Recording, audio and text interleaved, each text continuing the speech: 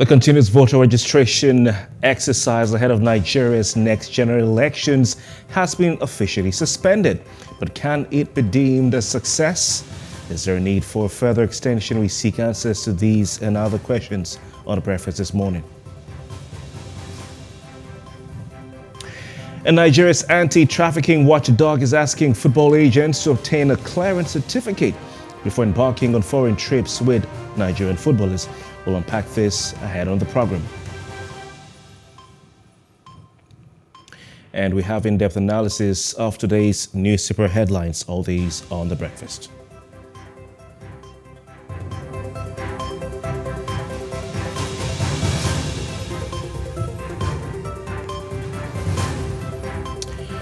Welcome. It's another brand new week and of course another time to talk about the important things that matter to you right here on Plus TV Africa. We're reaching you live from our studios in Victoria Island, Lagos. My name is Kofi Bartels. We have interesting analysis of uh, topics earlier advertised, but as usual, we start with a look at the top trending stories on Nigeria's social space. Um, quite interesting discussions over the weekend, and uh, of course, the first one that we have up for you happens to be uh, the Commonwealth Games. Yes, indeed, uh, Nigerians have been uh, have not yet recovered uh, from the legs here, the sweetness of uh, the victory of the likes of Ese Brume and Tobi Amusan at the World Athletic Ch Athletics Championships in Oregon, the United States of America. And now there's more to jubilate and more to celebrate as well as far as um, uh, winning medals in athletics and other sports uh, are concerned. This time, the Commonwealth Games uh, holding in the British uh, United Kingdom city of Birmingham. And of course, um, countries around the Commonwealth, former colonies, former colonies of the United Kingdom, the British um, Empire, are the ones that make up the Commonwealth these are the ones who are gathering in Birmingham, the United Kingdom, uh, to have these games. As you can see on your screen, the Nigerian contingent there. Um, the first gold medal uh, was won by a Nigerian Adenike Olarinoye Adenike Adijat on Saturday evening. Uh, a combined lift of 203 GR in the weightlifting category, women's 55 kg. Um, of course, she stood on the podium and we have the Nigerian national anthem blaring right there through the speakers in Birmingham with the Nigerian flag on top. It was another sight to behold. These are the things that give you pride to be a Nigerian. Now, the Commonwealth Games has also recorded a second medal for Nigeria. Yes, indeed, a second medal. This time, weightlifter Edidiong Joseph Umo Umoafia uh, clinched the bronze medal in the men's 67 kg category uh, on Saturday and the 67 kg category on Sunday. Yeah, so one gold medal on Saturday and a bronze medal on Sunday. Fantastic news. Um, you can see the wonderful lady uh, we speak, spoke earlier about uh, Adijat standing there on the podium, the first the first gold medal for Nigeria in the Commonwealth Games this time around. Congratulations to her and of course a young man who also won a bronze medal as well. Fantastic news. You know, the nation needs these stories. These are the heroes. Um, when they say the labor of our heroes past shall never be in vain, uh, these are the heroes that we can look up to. These are the ones who give everything for the country, um, not the ones who steal your money. Those are not your heroes. Not the ones who, who oppress you. Those are not your heroes. These are the ones to see. Of course, you have uh, those uh, power athletes as well who've been doing Nigeria proud, and uh, we'll continue to bring you information on this as we proceed with the Commonwealth Games. Fantastic news. Let's move on to the next uh, trending story. Uh, the Inspector General of the Nigerian Police, Usman Baba, is speaking again. And some very, very, very important and interesting uh, conversations on social space we've monitored. Um, he has ordered the arrest and prosecution of skit makers. You know, these young uh, people uh, who are talented in comedy, get a camera, get a phone, they film themselves and of course, uh, they put it on Instagram, on Twitter, on Facebook, on YouTube. These are comedy sketches. And um, we call those skits. We call those skits. Indeed, um, he says uh, anyone who uh, uses a police uniform in a skit. You can see Brother Shaggy, who is used to uh, doing this with Officer Woos. I mean, he's one of those who likes to wear a police uniform. Anyone, now, Brother Shaggy stands to be arrested if he uses this police uniform without approval. Also, movie makers who use a police uniform without police approval will be arrested. The order was contained in a statement issued on Sunday uh, by the Force Public Relations Officer Olumuyiwa Adejobi. Uh, in that statement, they decried the illegal sale of police materials uh, by traders in shops, open stores, not approved or recognized by authority. And um, I'm sure that they're looking at uh, uh, the security implications of all uh, of this. A statement by the police inspector uh, general uh, says that um, demeaning manner in which movie makers and skit makers portray the police institution uh, in their movies and skits using the police uniform without recourse to the provisions of uh, Section 251 of the Criminal Code and Section 133 of the Penal Code, which criminalize uh, such unauthorized use with accompanying necessary sanctions. So I'm sure he's not just concerned about you know the the, the wearing of the uniform, but you can see there's something uh, emotional there coming from the IGP. Uh, he is talking about the way movie makers and skit makers, you know, portray the police institution in their movies and skits. Says the way, uh, the demeaning manner. He says the demeaning manner. I mean, if I ask you, who's watching us right now and listening to us, um, uh, what comes to mind? Immediately you think about the Nigerian police. I'm sure uh, you say, I don't know what, I don't want to go into anything right now, so I won't be part of those who are demeaning the police. But um, if I ask you what comes to mind when you just think about the Nigerian police force, what would you say? What would you say? You know, so the the, the skit makers, some would argue, you know, the movie makers are simply portraying what's happening in society and giving Nigerians a, a way to just laugh off the stress. You know, if there's stress coming from the police, just make you laugh about it. You understand? Someone said, you know, instead of giving yourself, uh, you know, high pressure, high blood pressure about issues, laugh about the serious things so that you, you lower your blood pressure in this country. So, you know, when you think about the police, some would say think about bribery, you think about corruption, you think about a collection of bail when bail is free, like they always say, you know, cars being stopped on the road, stop and search, and all that, you know, uh, uh, harassment of, of, of, young people on the road. I mean, they'll stop you on the street and ask you, okay, you are too young to have such a car. How did you, how, how, how did you, how were you able to afford this car? I mean, these are, these are questions that you shouldn't be asked. I personally have been asked by a policeman, you know, many years ago, young man, this car, are you sure is your own? Um, how did you afford it? So I'm supposed to explain to the policeman how I was able to afford a car. I mean, I have a job and I'm paid a salary and I bought a car and you're asking me on the, on the road how I was able to afford. You know, so these are some of the things you face in the country. I mean, a lot of people face these every day.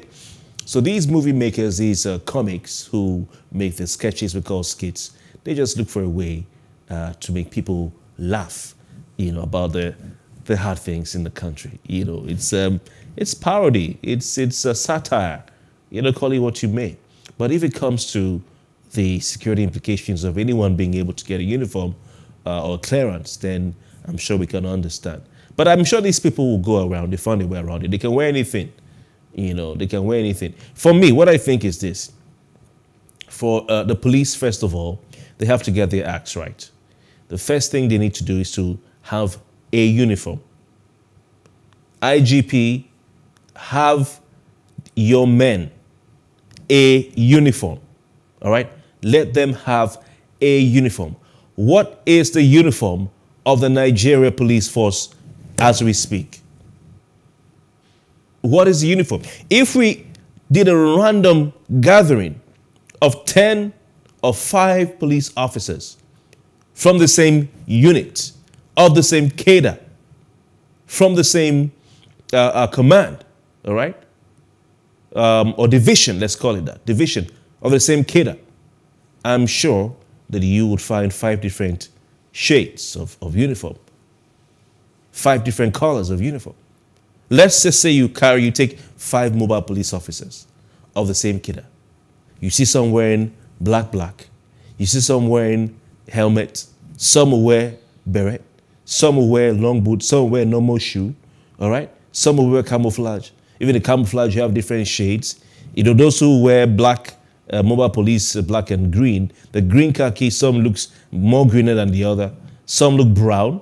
You know, some you look a bit turning towards yellow. Some look a bit turning towards lemon. So, so the police also has a responsibility because the IGP is talking about the security here. And of course, we understand, I personally understand the fact, you know, that, you know, you know, not anyone should, should not just be able to walk into a shop and buy something that looks like a police uniform. But what will help the situation? Because since this is a conversation we're having about security implications of police uniforms being everywhere, it's we as a people also would like to see the police having one uniform. All right? Having one uniform. Otherwise, anyone can just stand up, wear black, black, and put a red something with a wing somewhere there and says a policeman. You know, personally, I've been stopped by fake officer. Yeah, fake. I've been stopped by fake. He got into my car and he started demanding my papers. And I said, okay, let's drive. I'm driving to police station. Let's go there, and then we'll continue the conversation there. He said the, the red flag for me was he said he was a, a major. He was a police officer and he was a major. And I was like, does the police have major? You know, they don't have that. So I, I, I smelled a fish and I said, okay, let's drive. And he started begging me. You know, after begging me, he said, uh, anything for me, just find me something, make I go. You know, so people do not know what exactly the uniform is. Some guys who stand on this road, you know, to control the traffic, you think they're policemen. They're not. They need to have a defined code of dressing. All right? They need to have a defined code of dressing. I mean, the IGP is the same IGP who introduced the wearing of hijab by uh, female police policewomen. So I'm sure that he has all it takes to, to, to be firm in this, in this request for uh, dress code in terms of the color and, and, and I mean, let, let them have, even the camouflage, you see different, you know, shades. It's very important. And I mean, it's wrong for anyone to sell uniforms of the police in the shops, in the market. That's wrong. All right. So it's very important that people should be uh, uh aware of this. Um, I'm sure the IGP is, is saying this because of the security implications. But as to how they are portrayed, um, Oga IGP, please don't don't take it personal. All right. Don't take it personal. These guys are just talented. It's parody. It's satire. They take serious things about society and make us laugh about them. There's nothing nothing demeaning about that. If your officers want this to stop, they need to stop collecting money from people on the road. They need to stop harassing Nigerians and they need to do their job, you know, with patriotism, just like you, Mr. IGP. I'm sure you've been doing all these years and that's why you've ascended to this position of Inspector General of Police. All right, let's move on to another one. Um, some very sad news um, uh, broke over the weekend. The, the kidnap of two Nigerian uh, filmmakers. Uh, you can call them Nollywood stars. Cynthia Okereke, very sad. Uh, Clemson, Clemson Cornell, aka Agbogidi, um, they've been kidnapped. And uh, the the chairman or the national president of the Actors Guild of Nigeria, I personally think he shouldn't be talking. And this matter, because the more he talks, the more people say, oh, ah, people there, where go give us money? Actors Guild of Nigeria. Ah, no, we need to up the money. You know, but he's been talking. The president, the national president of the Actors Guild of Nigeria, Emeka Rollas, um, has been speaking to the media. He said that the um, kidnappers are demanding $100,000 in ransom. Now, this is the same uh, national president of the Actors Guild, Guild of Nigeria who said the guild does not have any money to pay for that ransom. That is not their place to pay for the ransom they will do all they can to make sure that uh, they support the police in, in, in, in doing the investigation, conducting the investigation to know, uh, you know, where they are and all that. Initially, what the Actors Guild of Nigeria president said was that they were not sure it was a kidnap. Uh, but now the kidnappers have made uh, contact with the family and uh, asking or demanding for the sum of $100,000. Um, so if the Actors Guild of Nigeria can't pay this money, I think, I think it's time for um, the national president, Emeka Rollas. Emeka, please, the more you talk, the more you get into the news, the more these kidnappers will feel that um, these two actors are actually getting attention. And I mean, Actors Guild of Nigeria is big. It's it's the entire the umbrella body for actors in Nigeria. And you know, Nollywood actors are rich. You know, I mean, at least you have I can count ten who are rich. You know, I don't I don't know their bank balances, but hey, they they have money. You know, so this these kidnappers are going to say, okay, so if, if this, this thing is, is at, at, attracting the attention of the president of the Actors Guild of Nigeria, I'm sure he, he can call the likes of um, AY and the other ones who are, you know, sorry to mention the names. So Emeka, you have to you have to pipe down. The more you talk, the more you speak to the reporters, the more you make statements to the papers, it will give these people the, the idea that indeed this money is available. So if, like you said, uh, uh, Emeka, you don't have uh, a fund set aside to pay this ransom for these actors and you want to support the police to do their investigation, then maybe you should pipe low. That's what I feel. But it's unfortunate. It's sad, all right? It's sad that this has happened. Um, I mean, doctors have been kidnapped. Uh, you have priests who are being kidnapped. All these people are kidnapped. For me, I don't think there's an agenda against them. It's just that the kidnappers feel uh, they're profitable. You understand that, uh, you know, it's, it's a good investment to kidnap a priest, sad as it sounds. And now they've seen actors and actresses, and uh, I hope this will be the last. Really, it's, it's, it's unfortunate. These guys go for people they think will get them the money they want. Occasionally, they kidnap people who may not have, you know, a popularity, you know, but most times they go for people who are popular. Uh, indeed, politicians are also in that category. I, um, I suspect that some of you may not, may not care about me mentioning politicians. That's why I left them out. You know, but anyone who is kidnapped, it's it's always a sad one.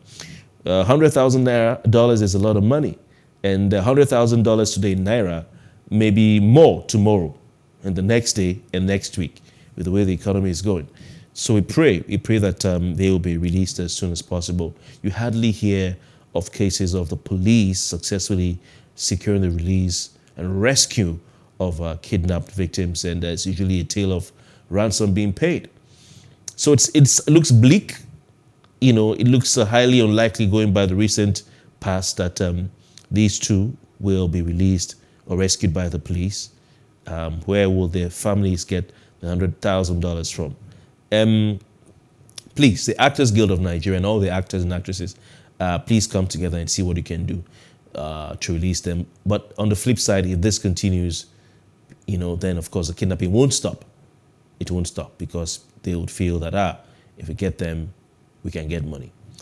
Personally, I have, I have um, moderated media programs, just like this one, where victims, eyewitnesses, members of families of people who've been rescued allege, allege, allege that some security operatives organizations collude with uh, the kidnappers. And that's why there's a sort of, um, you know, you hardly hear of some of these guys rescuing those in captivity because there's money to be made. God help us. That's the size of a top trending uh, segment right here on the Breakfast and Plus TV Africa. We will uh, be back as we go through the pages of the national dailies. Up next, stay with us.